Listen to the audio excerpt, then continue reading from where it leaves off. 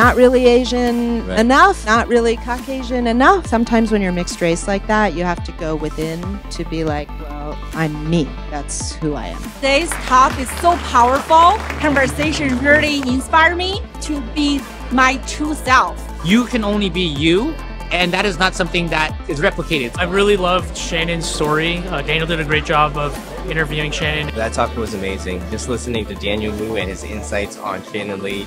I really enjoyed the story about her. Daniel Wu did a really good job. You know, everything in this world now is based on connections and, and your relationship with people. That's why we're all here, Stone Soup. Together, we make something way more powerful. This is my first time at one of these uh, Stone Soup socials.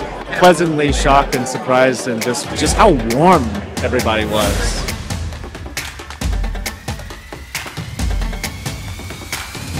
All the Asian, we need this. Give it up.